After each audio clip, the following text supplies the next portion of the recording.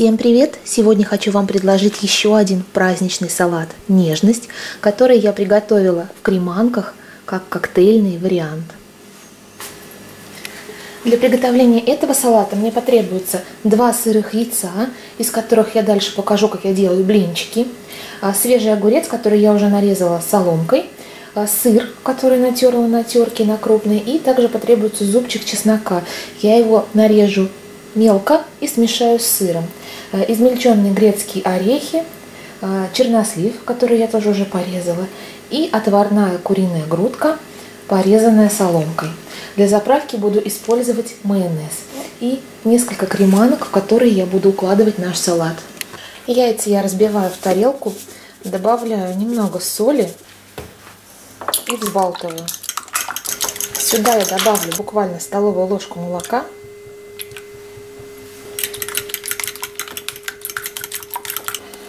и чайную ложку муки вот так через ситечко, чтобы не было комочков.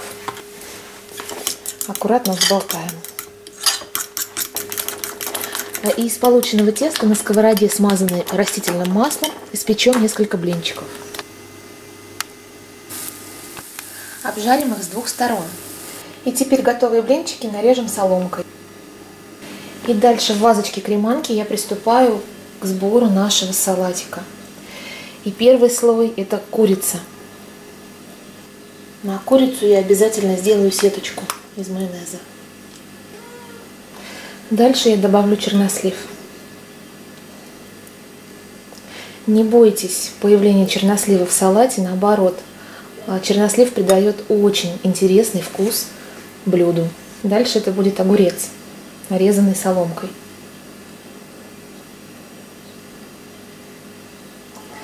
Если заранее вот здесь в тарелочке в огурец не посолили, посолите сейчас.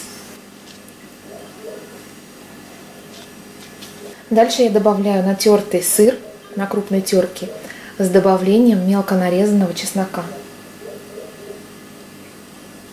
Дальше у нас будут порезанные соломкой яичные блинчики, которые придадут неповторимость этому салату и некую оригинальность и изюминку.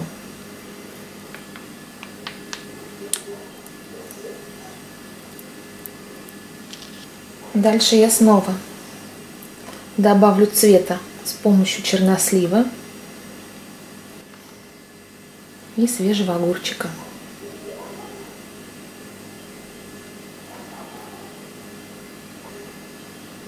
Чуть сыра.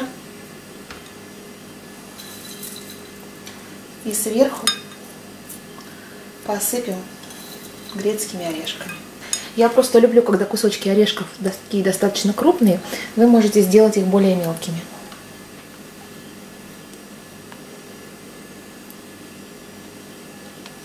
Добавим немного зелени для красоты.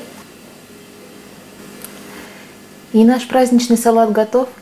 Благодарю всех за внимание. Всем приятного аппетита и хороших праздников! Обязательно подписывайтесь на мой канал, чтобы не пропустить новые интересные рецепты.